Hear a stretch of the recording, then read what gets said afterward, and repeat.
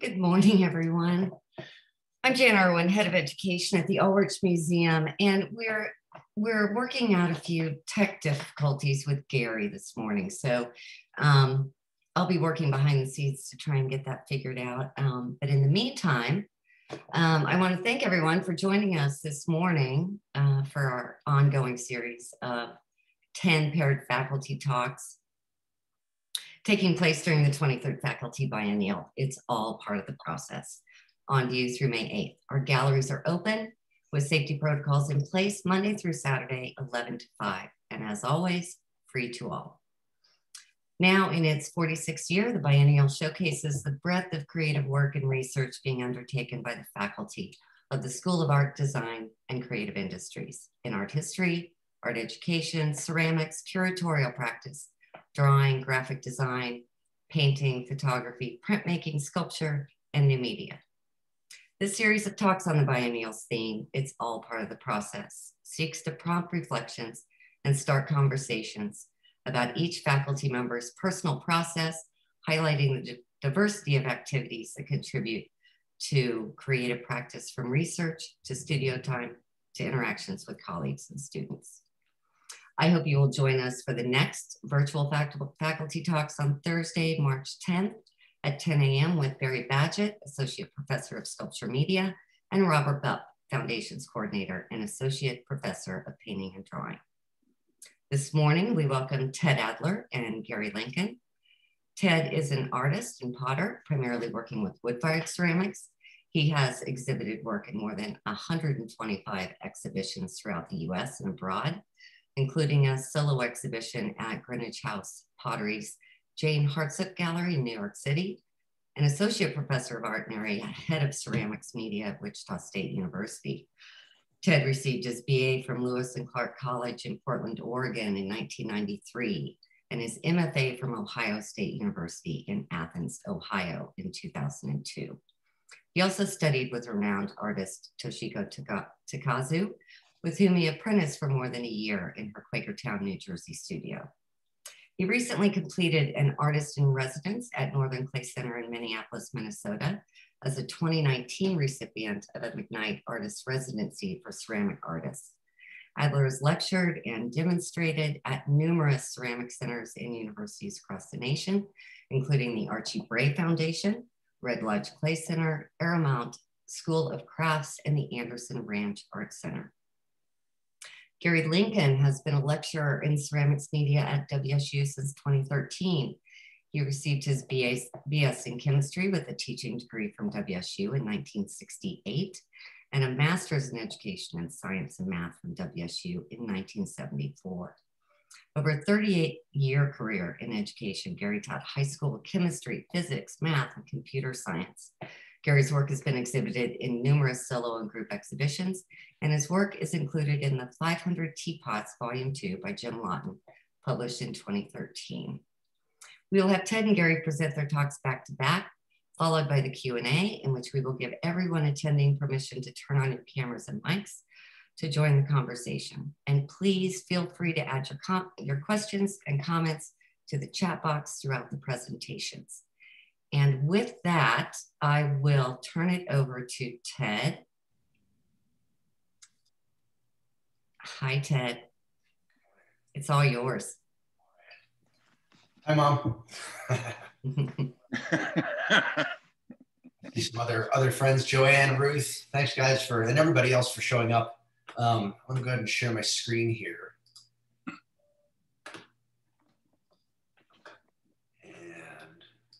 Let's go full screen. Okay. Um, so thinking about, you know, it's weird looking at your own work in retrospect and thinking about process. Um, so what I want to do is just kind of peel back the curtain a little bit on a few different elements uh, of the idea of process in my work and my career. So I'm going to throw it back uh, about 20 years. The work that I've made over the last 20 years or so uh, has been centered around the sculptural vessel, uh, especially in terms of uh, its metaphorical and relational connections to uh, the body and ideas of selfhood. So all of these works, uh, for the most part, the work that I've made over the last 20 years, focus on the use of stoneware, and these are all fired using um, sort of a traditional wood fire technique. Most of these surfaces are uh, developed through the uh, deposit of ash at high temperatures um, in a wood-fired kiln. Uh, beginning on the wheel, now most of the work is, is wheel thrown. it's one of the, the primary tools that I've used, but later works, like the ones you just saw, were finished with coils. So there was a bit of a hand building um, aspect to the, the process of making these. So moving on and off of the wheel um, at various stages of the development um, to get to the final form. Uh, and here's a little bit of the, the wood-fired uh, surface uh, uh in, in action. Um, it's a pretty sexy process, uh, but pretty labor intensive, which is satisfying too. Um, but after, you know, I guess 20 years of, working this way and thinking these, uh, these ideas, um, I guess what I would say is that I began to want to um, develop a, a, new connection or to reconnect with um, with the work on an emotional level, if that makes sense. when we think about processes, you know, processes uh, need space. They need head space, but they also need physical space. Um, so in uh, 2019, I had the opportunity to take a sabbatical, which uh, you know is the um, primary way that faculty can kind of refresh themselves, recharge their batteries, and come back to their teaching practice um, with uh, with relevant, hopefully, ideas and, uh, and good energy. So to help me do that, I was able to uh, work with uh, Wichita Open Studios, uh, run by Elizabeth Stevenson from Fisch Haus. So this is the Garvey Center, uh, Wichita's second tallest building, and probably its most iconic in terms of its imprint on our, our cityscape. Um, but down in the basement, uh, I wasn't in that fancy uh, penthouse area up there, but uh, down in the basement, uh, I had a small space, and I thought, you know, for for this uh, beginning this process of, of reconnecting to the work, I really wanted to have a clear space uh, mentally as well as physically. So the only things that I brought in with me, um, maybe a, a couple of spare tools, but primarily just a work surface and the clay. Um, and so beginning from there, leaving the wheel behind um, and, and familiar tools, really wanting to re-engage uh, with that freshness, um, I began hand building uh, and coiling works. Uh, the vessel still sort of figuring pretty prominently, but uh, at this point not, not relying on a firing process for the surface, but rather the material itself. So this is, um, this is a mid-range porcelain. So this is fired to a much lower temperature. Uh, when I say much lower, I mean by two or 300 degrees, uh, lower temperature than the, um, the wood fireworks. Um, so there's really no possibility of these being, you know, engaging that process, making sort of a break. And then also considering uh, ideas of interiority and, uh, the space of the vessel, um, you know, basically playing around. Um, but still with the, the idea that the, the, the character of the surface of these works really comes from the, um, the quality of the material itself. So rather than putting it through a firing process to uh, develop the surface uh, imagery, really relying on the, the clay and uh, some inclusions in it. Um, these are some of the materials that I, that I wedge into the clay uh, separately. Uh, so, you know, this way, when people tell me that I'm dumber than a box of rocks, I can say, nope, I've got a box of rocks and I'm at least that smart. Uh, so these are this is some of the aggregate material, uh, which are range in size from call it a coarse sand to uh, to really gravel. Um, and so what these uh, these inclusions do, as the clay shrinks, right, it tends to crack around uh, these rocks and open up fissures in the, the surface of the the clay itself. Um, so there's a, a, surface texture, but also um, what it helps do for me is raise the idea of the the permeability of the vessel wall, right? That, that as a container, this is a permeable container so that it contains, and yet it's also uh, accessible uh, through more than, than simply the, uh, the opening at the top. And uh, one thing that I discovered with this porcelain, uh, this is this is really probably the closest that clay comes to being glass, and so it's also permeable to light. And so for me, that was really kind of a thrill to, to discover this about the material and uh, and the, the potential that it has for um, sort of talking about uh, that idea of interiority that interests me uh, so much. Uh, as Jana mentioned, I uh, received a grant to go and do a residency at the Northern Clay Center in Minneapolis, Minnesota. Uh, it was also really cold, not as cold as this last snap, but boy, it was pretty cold. Um, so uh, process needs space, but it also needs time. And uh, that was the gift that my family gave me um, to be able to go and do this. Uh, my wife, Brenda, uh, who many of you know and love, uh, not as much as me though, um, was holding down the fort at home. And because of the grant, I was able to travel back and forth. It's about a 10 hour drive. Um, so I put a few miles on the, the truck. But um, I had about three months here uh, to develop a body of work. And so continuing that exploration of uh, the porcelain, uh, I started creating these, these, um, these new vessels uh, that I call uh, coupled vessels. And so if, if you you know, consider the work that I was making prior to this, there's really sort of the vessel as a single aperture opening at the top. And so here we have, you know, essentially two vessels that have two entry points and yet the space inside is sort of a shared space. And so uh, thinking about ideas along those lines, but I've also uh, kind of refined the use of that aggregate material. So these rocks, you can really see, you know, how some of them really kind of melt out. They're primarily, primarily feldspar, which is kind of a, um, if you think of it, a, um, an, uh, a form of granite that's free of impurities. And so uh, a little more of a, a, white on white kind of effect here. Um, for my thinking process, you know, anytime, you know, the pendulum swings one way, I, I, try to think of, you know, where that might end up on the other end of the swing. Uh, and so, you know, also likewise, not wanting to uh, get stuck in using one material to, uh, to accomplish my ideas. So here we see the ideas working themselves out in, uh, in a, a, dark stoneware, or really a black stoneware fired to the same temperature. Um, an idea that's been sort of uh, budding in my mind slowly over time, maybe the last couple of years, I had a chance to kind of uh, begin some preliminary uh, explorations of other clay bodies. And uh, just really briefly, you know, my interest in the, the character of the material itself and what that is able to uh, communicate or what I'm able to express through that. Um, you know, using clay bodies of different colors and different qualities um, to sort of achieve something that touches on the idea of um, sort of the medicine of antiquity, where there was the understanding that that our our physical health was dependent on four humors, right? Or I should say, our physical and mental health. And so this is blood, phlegm, green bile, and black bile. And so these antiquated, uh, you know, medicinal notions sort of pointing out our, um, our imperfect understanding of, of ourselves and our bodies and how things work in the way that um, clay bodies can kind of touch on some of those things through uh, elements of color and form. Um, I show you this series of images in the development of the work. So uh, what I'm doing here is I'm adding coils gradually and building up the form and uh, the idea was to make four identical forms out of four different clay bodies.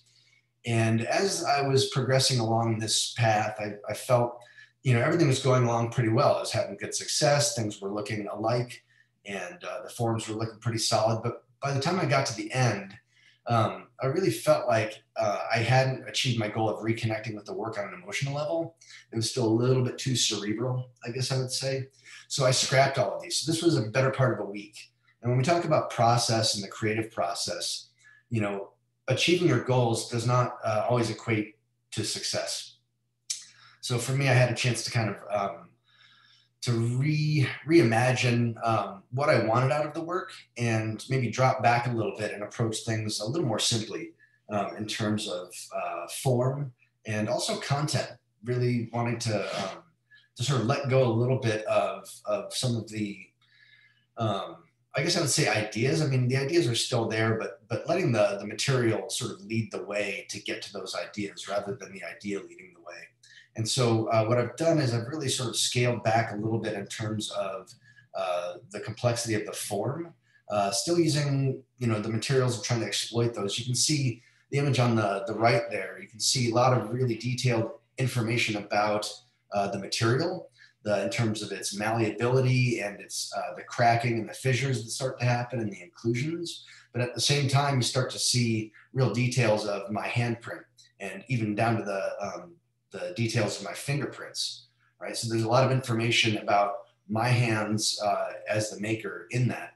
Um, and that's really where it is right now. I think, uh, you know, it's really an exploratory phase for me in terms of uh, the process of developing my work over time. Uh, it's also uh, an exploratory process in terms of materials and my making process uh, and exploring the, the qualities of the materials, not just in terms of the different types of clays that I use, but also the states of the clay. So, um, so using a softer and softer clay that is more and more receptive to the marks that I want to make. But, um, you know, in doing that, it really loses a lot of the structural uh, integrity. So the softer the clay is, the, the less able it is to, to resist the pull of gravity.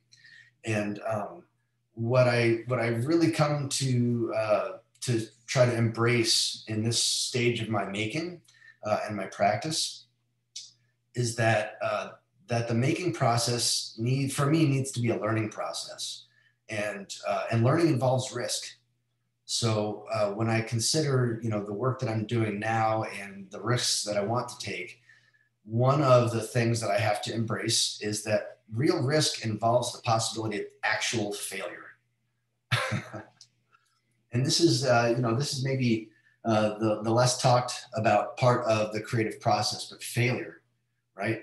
This is the, uh, the, the, clay collapsing under its own weight. It's simply too soft and I'm building too quickly, um, moving the form along to, to create the, uh, uh, the volume and the textures uh, through making and keeping that freshness. And it simply isn't holding up. So there's been, been quite a bit of this happening in my studio.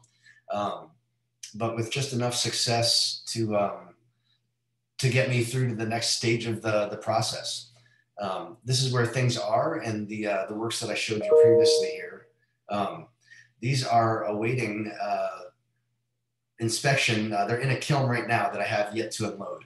So this is uh, this is about as up to date as it gets in my process. And so uh, with that, I will leave you and pass you on to Gary. Thanks so much for coming.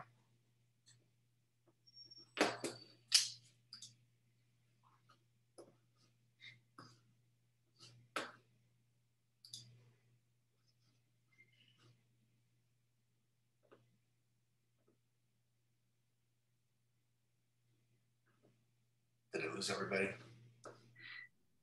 Hi, Gary. Are you ready to roll? Gary. Yes. Yes, I am. So, how, how, okay. So,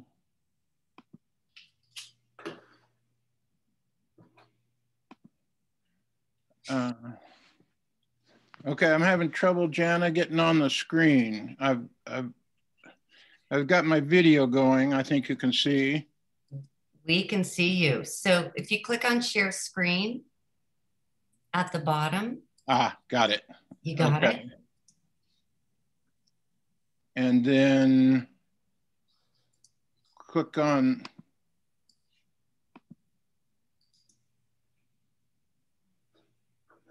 Uh, where do I go now? Should, should you can you can select your PowerPoint. Oh well, okay, I can do one that. Of your options.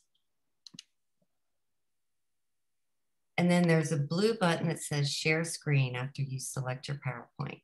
Right. There you go. Okay. Well done. Gary's not a robot. I'm not a robot. Uh, but I don't see my PowerPoint. For all those you are listening, I'm sorry, I'm uh, digitally uh, ignorant.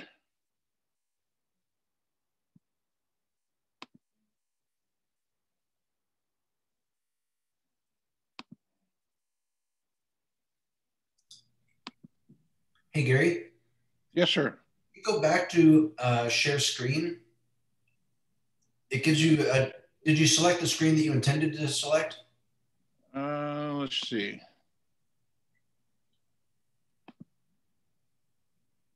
But hey, Gary, why don't you go ahead and stop share and then, and then we'll start over. We've done this before. I can't do too much because this computer, this Well, or you could do it this way. You could open your PowerPoint. Okay, I thought I had done that. Uh,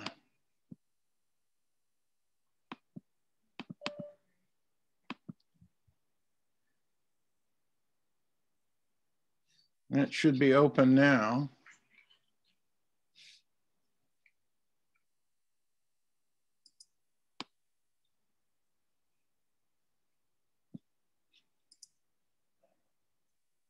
There we go. There's my PowerPoint. There you go. Okay. So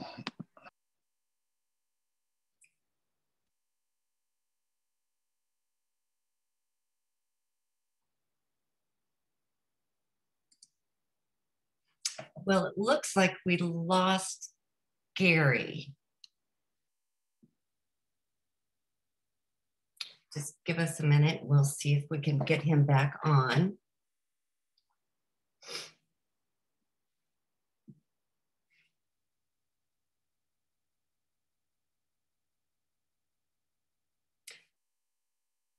Ted, while we're waiting, if you want to pop on, we've got a question in the um, Q&A. You could address it while we're waiting on Gary to come back. Oh. Hi, Gary. What happened? I have no idea. All right, let's. And so, uh,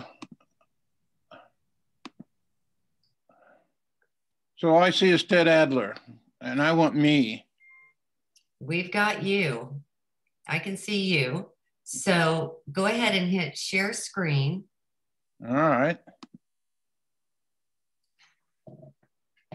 And PowerPoint. Uh-huh. Okay. Awesome. All right. So I've got the PowerPoint, but people can't see me yet. We can see you, Gary. Oh, you can? Uh-huh. Oh, perfect. Well, I hope you can hear me too. We can Uh, hear I you. I put together for this little talk. Uh, many people don't know my history, uh, um, and and maybe unfortunately many people do. But in any case, um, I thought that I would start from the beginning and. Um, this um, this pot was my very well if I discount my elementary school experience with clay, which I have very little recolle- recollection of, um, my my girlfriend at this time, uh, who I met through a blind date, um, taught uh, at John Marshall, taught art at John Marshall Junior High, and uh, I was at the time. Um, subbing in the school district. And so I don't feel bad about this, but anyway, Diane Thomas brought me a couple of pounds of red earthenware, which I then proceeded to uh, hand build uh, this pot. My, and I'm going to call this my first pot. and I, after looking at Ted's video, excuse me, after looking at Ted's video, I see some similarities in the surface, but um, this was done in 1973. So I think Ted mentioned that he was uh, maybe about eight years old at that time. But in any case, um, my first pot, red earthenware, which I've always really liked. Although, as you will see as we go through, uh, I've experimented or um, explored other surfaces and other uh, firing methods. So, uh, because I became very interested in clay, I started to pursue that interest. And I first took a class at um, uh, um, Art, the Artist Association. And uh, I had uh, Terry Akins as an instructor, um, who was a really, really um, in, influential and a nice person and helped me a lot uh, during that semester uh, at, at, um, at the center. I then took a class there from a grad student, and um, he he he uh, he was very instrumental in in in in helping me also. And when he graduated, he's a very good teacher and uh, a really good potter. And so I said, "Whoa, I um, I I really like this. I'm going to get an advanced degree and teach at the university level." Well, um, my uh, and I'm and I'm having a hard time recalling his name, but any case, I may come with it up with it here in a moment.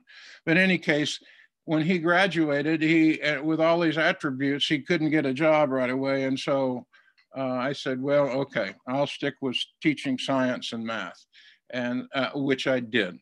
But I also continued to pursue ceramics, and uh, eventually came to WSU um, with Rick St. John and started with him.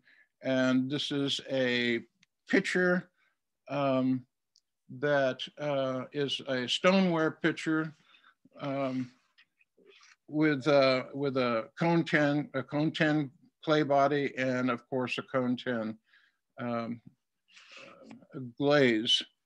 Um, in any case, uh, I, I still have this picture. It's about 13 inches tall. And uh, many of you probably know Lars Voltz, uh, who is a good friend of mine. He was a grad student. In fact, um, I spent time in his class for a semester uh, getting familiar with that beginning ceramics class. But in any case, he saw this picture and said to me, when you die, I'd really like to have that picture. Well, so if we look inside that picture, um, there's a note indicating that Lars should end up with this uh, particular piece uh, at, at, what some eventual event, at least to me. Uh, so in any case, continuing on, uh, this is another um, uh, stoneware piece that I that I constructed uh, under the tutelage of Rick St. John. This is about 15 inches tall, um, about 10 inches or so wide. it's a lidded jar, obviously.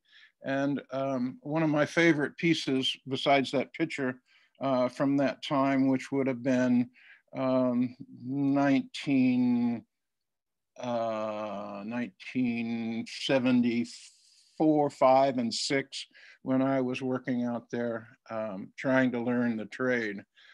Um, this is a casserole, and in my, my uh, world of famous casserole, um, uh, this was also um, under the tutelage of Rick St. John.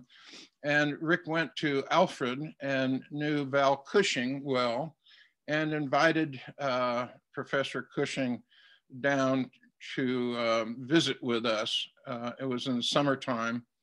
And uh, any case, um, I put this particular piece, it's a casserole, it's about 12, 13 inches wide and about seven inches tall. And I've used it several times. It works really well. And I've had several compliments on, compliments on it. But with that said, um, Val Cushing, Cushing um, really panned it and didn't like it at all. So I have I, I don't have a real good feeling about Val, although I know he was very instrumental. In fact, I've used some of his glazes myself. So God rest his soul. Uh, I still like this casserole. Well, it was kind of a couplet there, but in any case, um, uh, a further exp uh, exploration in stoneware and glazes at the time. Well, so um, push comes to shove, and I became, I was teaching at Bishop Carroll and continued my ceramic study and uh, night or summer classes at the time. Uh, and I just got bogged down with working and being a department chair in the science department at Bishop Carroll High School. Um, and then I, after six years there, I uh, started a carpentry business and did that for uh, three years. Well, I was working almost 724 uh, and had no time for ceramics. And after those three years, I joined the faculty at Southeast High School in the math department and taught math at Southeast for 22 years. I, I, uh, I fortunately figured out that I should do, take a sabbatical. It was available to teachers in 259. So that's what I did. I uh, applied for a sabbatical and got permission to do that.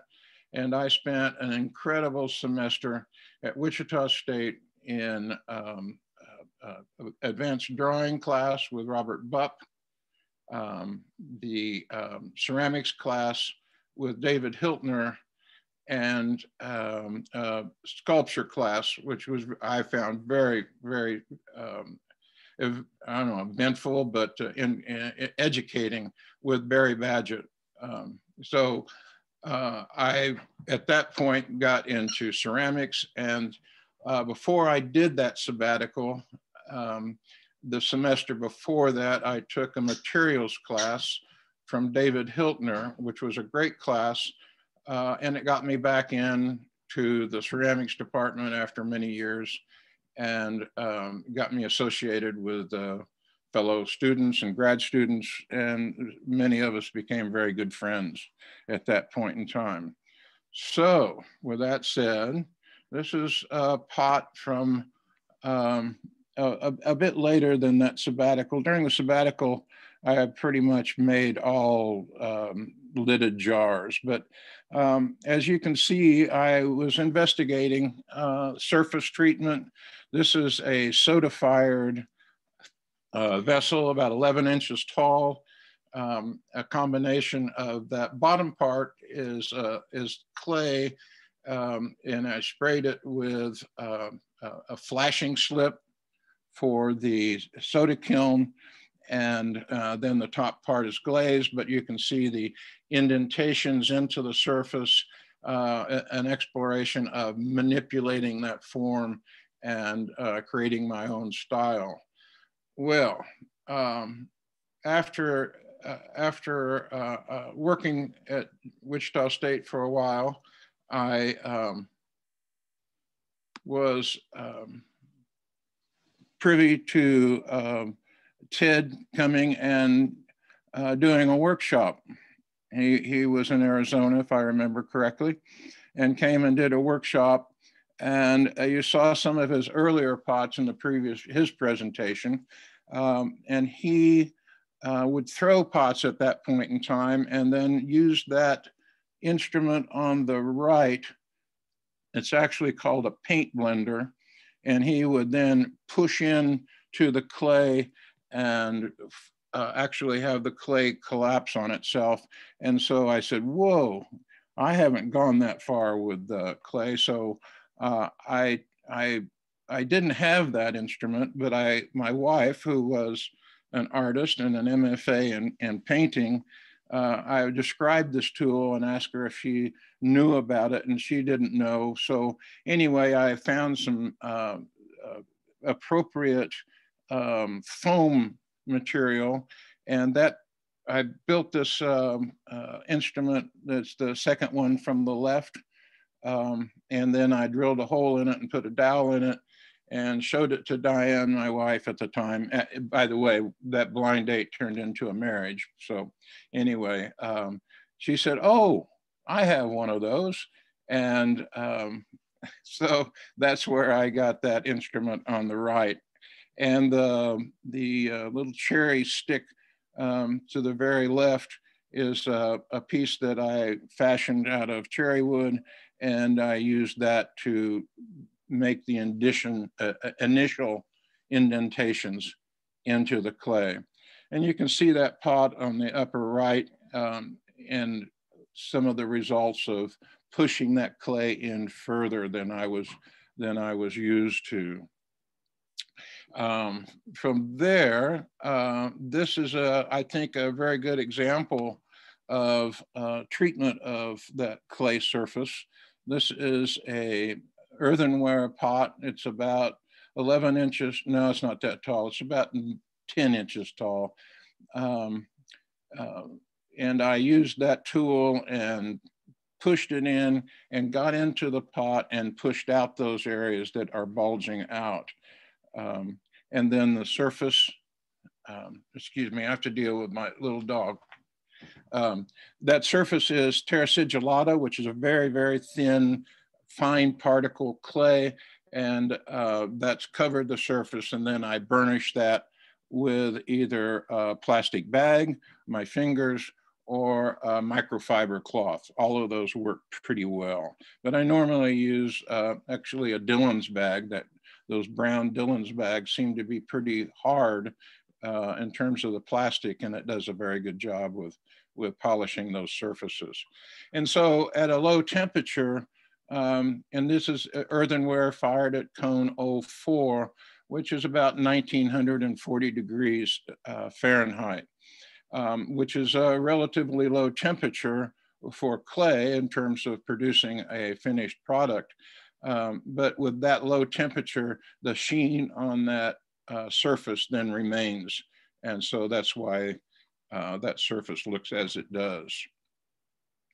Um, I think this pot um, is uh, about 2008 or so after Ted's influence and pushing in that clay. This is stoneware, a stoneware lidded jar.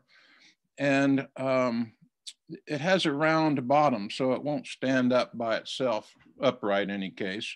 And so um, during these uh, productions, I made several of these and uh, made wooden uh, bases for them um, I found the wood out in, in the wood lot at school at WSU, and uh, this these were some um, uh, pallet um, uh, pieces, uh, which was um, very um, um, figurative, and I thought did a good job in combination in showing off this particular work. Uh, I want you to note the black uh, glaze on that surface, which I added to that, which, um, well, uh, some people didn't thought that that was too much. I've always liked it, so uh, I've, I've, I've, maintained it at least that desire to uh, place that sort of mark on pots, and we'll come back to that mark uh, marking process uh, as you will see later on. Uh, here are some other um, pieces. These are, of course, mugs. This was, if you look uh, closely at each of those uh, handles, you see that they're a little bit different how they come up off of the pot, how they uh, attach to the pot. Um, and so um, my whole life with ceramics has been an exploration. Um, I, I didn't go to uh, grad school in ceramics and I I, I think maybe it's a little tough for me to follow Ted uh, because he's he's such an expert and, and knowledgeable in the ceramic world. Um, and uh, I actually often go to him for, for advice. But in any case, um, these are some other explorations. And these are stoneware um, soda fired at cone 10, which is about 24, 2340 degrees Fahrenheit getting pretty warm. So um, this next image is a, a, bowl. It's about 13, 14 inches wide. This was in a show at City Arts with uh, Joe Goodwin. Um, he, he put this together. I think he called this Joe's Swan Song. But anyways, they, he invited uh, several artists to participate and that downstairs floor was filled with uh, pieces from the artists that he uh, invited to be in this show. Um, in any case, um, with the with the bowls, I found that making those marks on the inside of the bowl, I, I tried on the outside and made several of those, but I think this works much better. You can see those in undulations and you can see the push up from the bottom of the bowl and making those bulges and and and um, making those Im impressions more revealing. So on and upward, we have a picture of a um, teapot. I made several of these teapots. Um, I, if I like, I one, two, three, four, five, six, seven, eight, nine, a little more than 10 pieces of, of different clay went together and putting this teapot together. And it's one of my favorite forms uh, because it involves so much information and so much thought in where to put things and what things to put.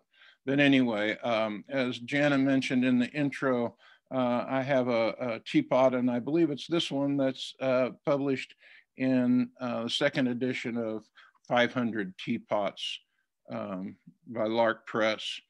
Um, any case, I have maybe one of these left. I've made several, and they're out in the world. So uh, I'm I'm very happy that other people uh, can enjoy my work and do enjoy apparently.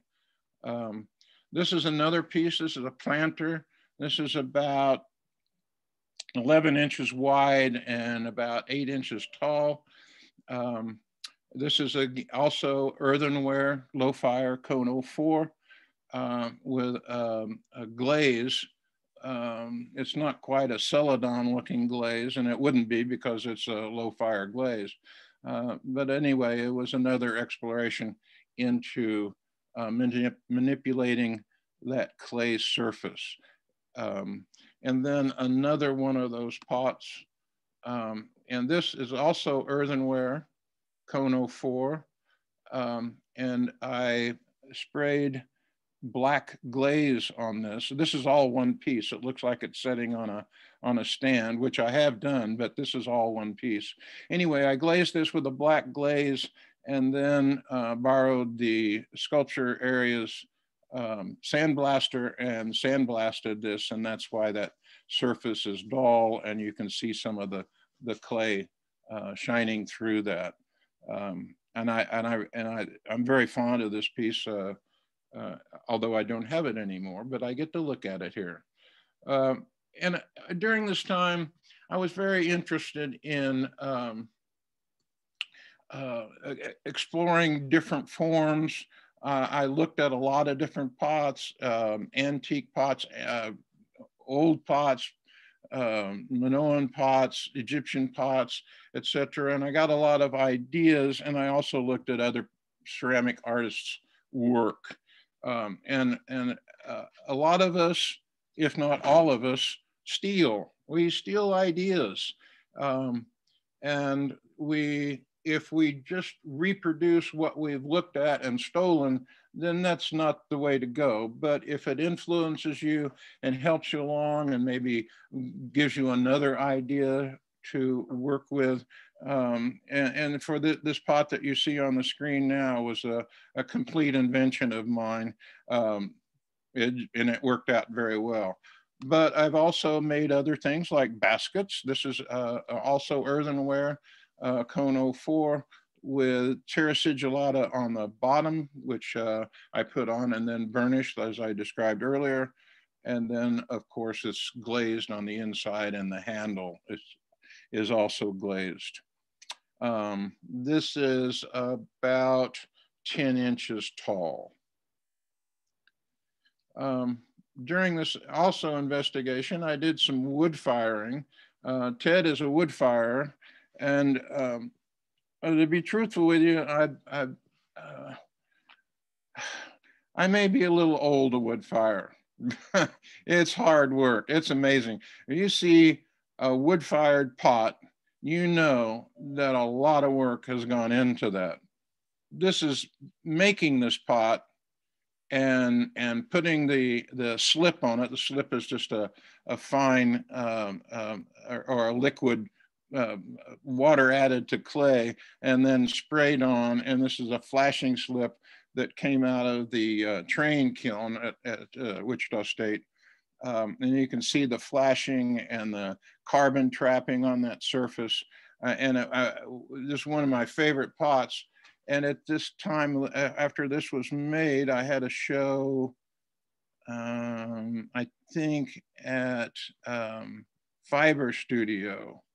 And I fired the soda kiln. And uh, as I, before I even opened the door of the soda kiln, I heard this popping inside.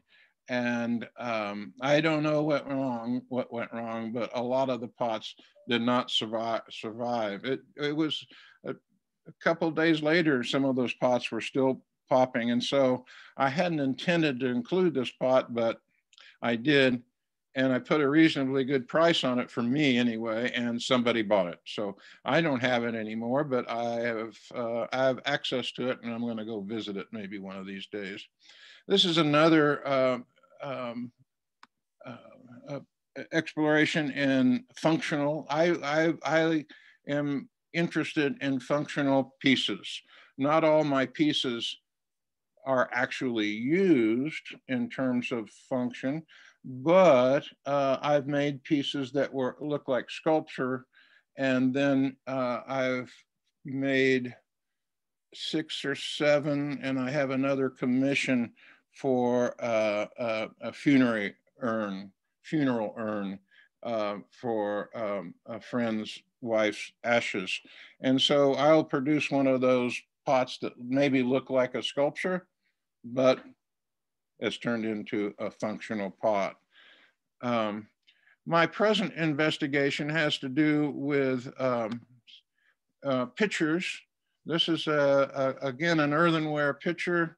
Uh, a student of mine in the basic ceramics class, one of the projects that we do is they have to uh, investigate, explore, and do a paper over a, a historical pot something that occurred or was made before 1900. And then they reproduced that pot using coils. It's one of the, the projects that we do to introduce students to different ways to manipulate clay. And um, so uh, a young woman in my class did a, uh, an Egyptian pot and I was just enamored with the way they formed those um, those uh, spouts. And so I became very involved with uh, that particular form. And so um, this is a picture uh, inside my studio of several pictures in process. Um, the ones that are uh, dull red are greenware. They've never been fired. They're just dry clay uh, and obvious and, and very fragile. The ones that are a little whiter, brighter red um, are uh, bisque fired and they need to be finished with glaze and, and whatever other surface treatment I will put on there. Um, also, I ask you to remember that black um, uh, surface that I put on those pots, and I continue to do that and explore that application. And with that, will take you to the faculty show and that is my entry or my entries into that show. These are nested bowls, uh, all earthenware, uh, a white slip, and then the black slip uh, trailed with a, with a brush, and then a clear glaze on top of that and fired for the second time. So uh, that's my last slide. And, and by the way, uh, my mustache is not quite as fancy as Ted's, but uh, also I can't really easily take mine off. But any case, there we are. Thank you. I hope you enjoyed that and I'm ready for, uh, I assume any of us are ready for questions. Thank you, Gary. That was awesome. Ted, do you want to join us? And everyone who's um, who's watching, I'm going to go ahead slowly, slowly make my way through uh, through all of all of you and give you permission to turn on your cameras and your mics and join the Q and A. Um, and again, if you if you'd rather uh, not turn on your camera, um, that's fine. um, Ted, while while I'm doing this, um, Don Rogas had a question uh, that he put into the Q&A while you were presenting. And he asked, where do you get your favorite clay and what is its makeup?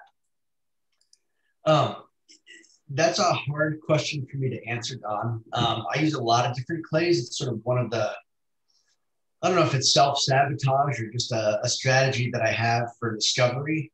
Um, but I very seldom ever use the same clay body twice. Even if I'm using a recipe, it's it's like when I cook. I never stick the recipe, and and most of the time I get something I like. Sometimes I don't. Um, but currently, um, the clays that I'm using, it started the, the work. And actually, I, I just want to back up a little bit. Um, the works that I showed, the porcelain, uh, the ones that I made at the Garvey Center, uh, those were works that I had in the faculty biennial last time, which was a year and a half ago. Um, and then the works that uh, the couple vessels that I made up in Minneapolis, those are works that are currently in uh, the faculty at the Ulrich this year. And I just wanted to say thank you to the Ulrich and all of the staff and Leslie Brothers for, uh, for hosting it again this year. Those clays, that porcelain was a store bought, commercially produced clay um, that I used just sort of as a, a departure point or a, a, quick, quick point of entry into that exploration. But I have since started uh, exploring and developing my own clay body, which is made from a, a, I wouldn't call it a rare, but a, a very special sort of kaolin clay from New Zealand. And it's about the whitest clay you can get your hands on in the US. Um, so I can't say I can't say that I have one particular clay uh, that's my favorite, but I do sort of like to explore different clays to kind of uh, extract, you know, some sort of you know metaphorical or relational connection to the idea of uh, selfhood and the way that we sort of think of ourselves through the vessel and that sort of thing, if that makes sense. So it's not a, you know, I'm not very good. I mean, I've got a ton of recipes. I can give you a stack, but I don't have one that I like is my go-to. No. Thanks, Ted. Yeah. Thank you. Hi,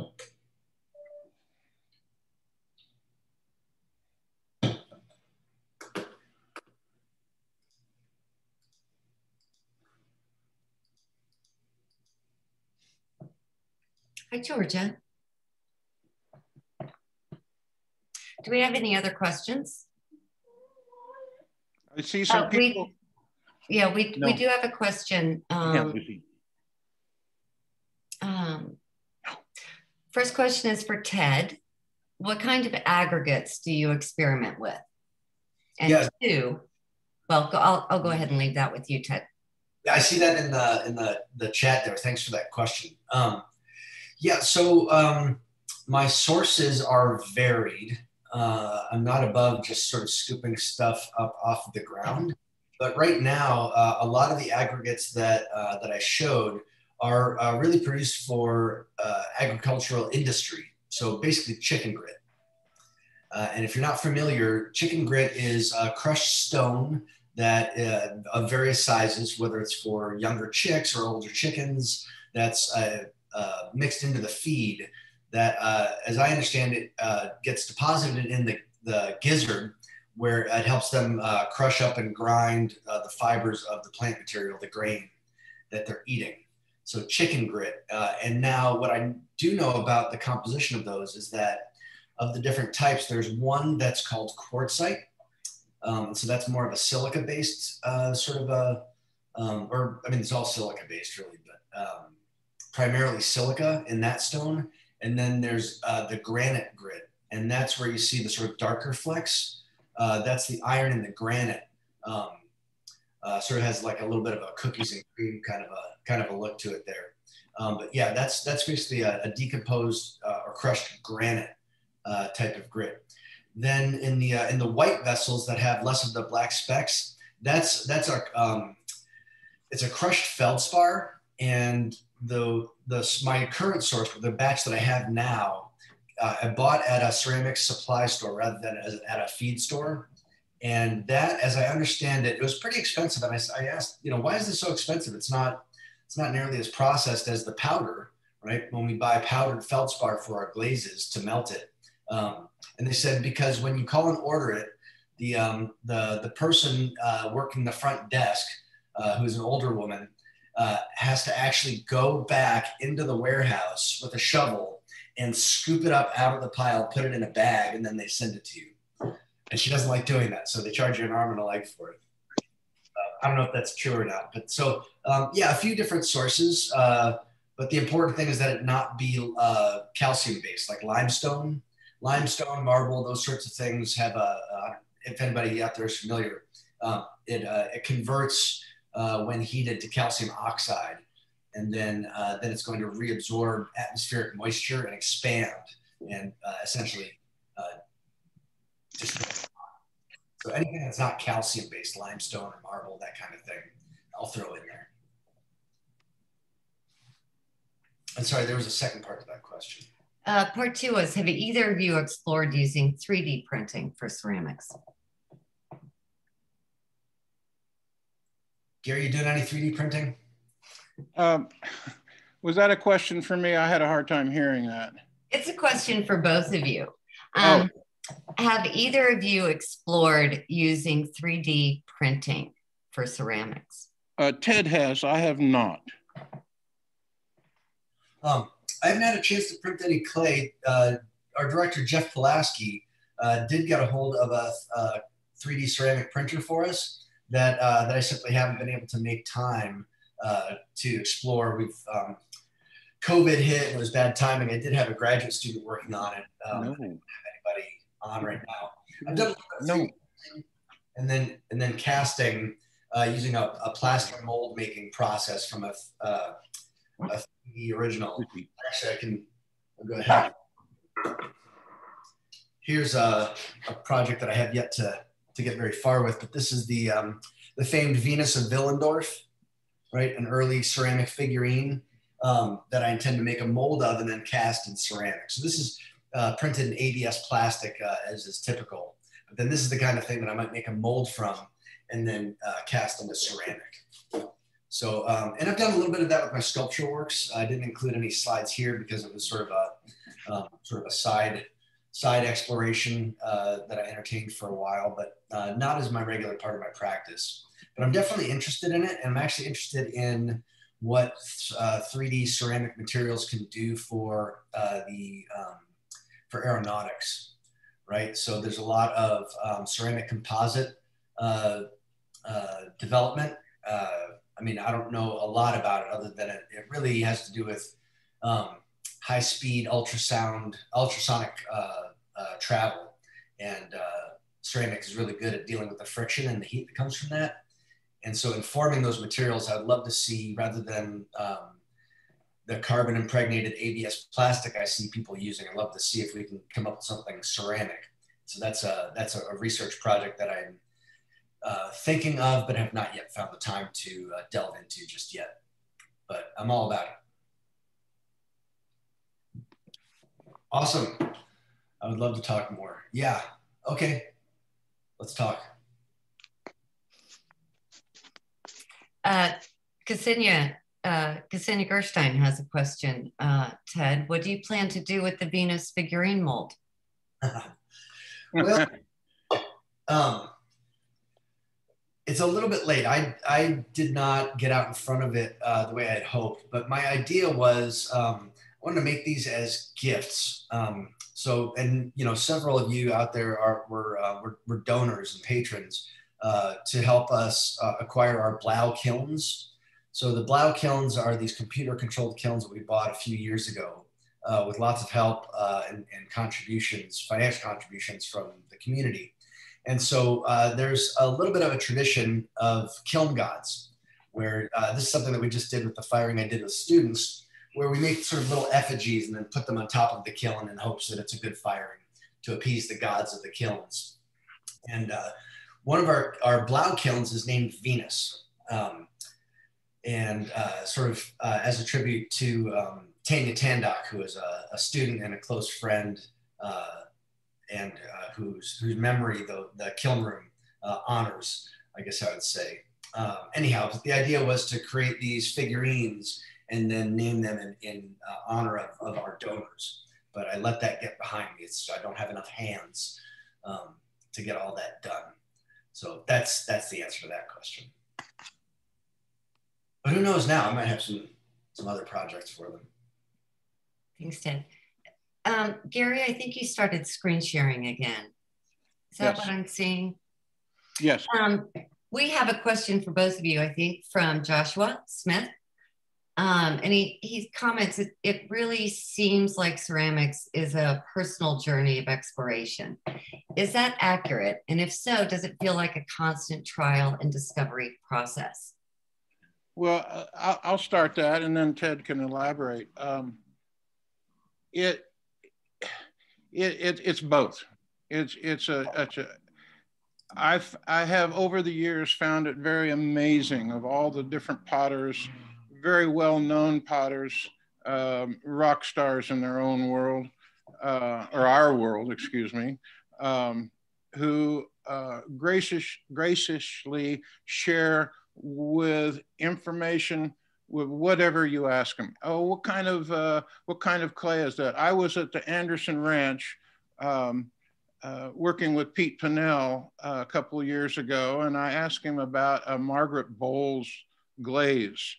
Well, he uh, got on his phone and texted Margaret and asked her about the glaze and could we have her recipe? Uh, and it's a wonderful recipe. I mixed it up at Anderson Ranch and used it, and it come. It's a beautiful clay, glaze. Uh, we've had workshops. People come in um, several workshops a year, uh, and anything you ask these people, they share with you. Uh, and I must apologize for Lucy that you hear once in a while. I, I moved over to her chair so you could see me a little bit better with the sunlight. But in any case, Lucy, no. I think, I think once you have all those shares, uh, then you do go to your studio and you do work alone and you explore on your own and you find all the things that come to fruition basically on your own, but with a lot of help with others. So up to you, Ted. um, yeah, you know, the, the, the idea of the, the personal, um, no. And, you know, I don't know if ceramics uh, as a practice is a personal journey any more than sort of any any other aspect of our lives, right? I mean, we have so much uh, capacity for growth and discovery in every aspect of our lives, internally, externally, in relationships, in in you know any sort of challenge that we we find. I feel like ceramics, art in general, um, and and creative pursuits. I mean, now I'm going to throw cooking and and you know any sort of creative pursuit that way as as a, a journey of discovery in a lot of ways it doesn't have to be though. Um, you know, there are plenty of people that make things and cook things that are not trying to discover something. Um, so it doesn't have to be automatically, but when we're engaged in um, in our own life processes, I think we tend to to turn the things that we do uh, into that. We sort of find that discovery there.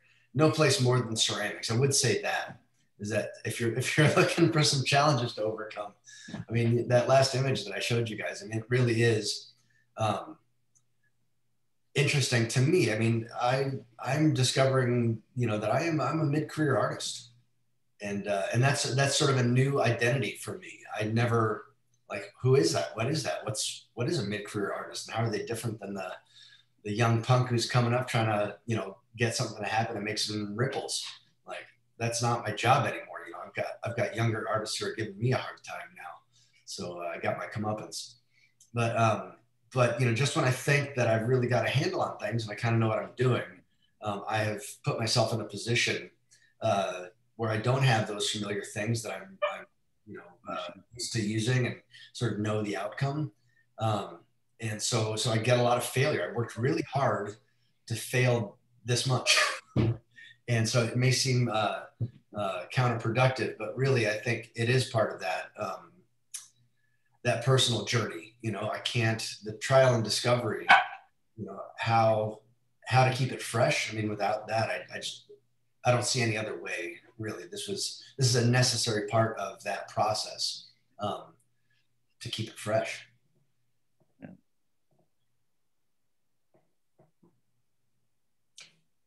Do we have any other questions? I realize we've kind of gone over our, our hour um, and I do want to respect everyone's time today. Um, any last questions? We'll take one more if, if there is one. Don't want to leave anyone out. Going, going. All right. Well, thank you everyone for joining us. Don't forget uh, next week, March 10th, Barry Badgett and Robert Buck uh, will be with us at 10 a.m. And Gary and Ted, thank you so much. Um, it was it was excellent. Yeah, thanks for Yep. Yep. Yeah, thanks, thank Jana you. and Ted and Gary. Hi, Don. Thank you. you. Appreciate your participation. Hope you had a yeah. good time. Thanks, Jana. we did. You bet. You bet. Hope to see you two in person soon on campus. Awesome. At least some of our face, anyway, huh? yeah. Hi, Leslie. All right. Stay safe. Thank you, everyone. Bye. Bye bye. Hey, Ellie. Ask up, everybody. Hi,